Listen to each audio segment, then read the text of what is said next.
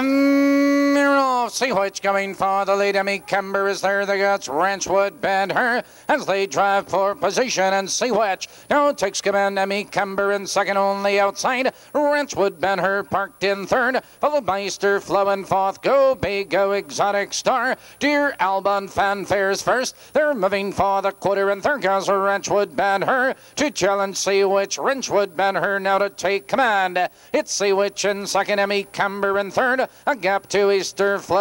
Go Big Go and Exotic Star the quarter. 29 and 2 the quarter and Ranchwood Banner has the lead a length and a quarter. It's Sea Witch right there in second. That's Emmy Camber in third, followed by Easter Flow in fourth. Go Big Go in fifth. Exotic Star Dear Alba and still trailing the field. Fanfares first. Now they're moving for the half. Ranchwood Banner has the lead by two on the inside of horses. That's Sea Witch in second. Here comes Easter Flow. Now moving fourth. Now third. And there goes Sea Witch out of second. They're off the half. 59 and 4 into the clubhouse turn they race and Ranchwood Banner maintains the lead but Sea Witch moves out on the outside in second Emmy Camber in third on the outside Easter Flow in fourth Go Big going fifth and to the outside Exotic Star now they're moving up the back stretch and, and your leader is Ranchwood Banner but Sea Witch moves out on the outside in second Emmy Camber in third on the outside it's Easter Flow and from the outside with a rush there goes Sea Witch on the inside Ranchwood Banner these two battle for the lead. Emmy Kember is three lengths back in third. On the outside it's Easter Flow and Exotic Star.